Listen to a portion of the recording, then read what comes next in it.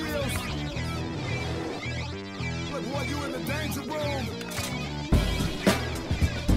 Yeah, you in the danger room.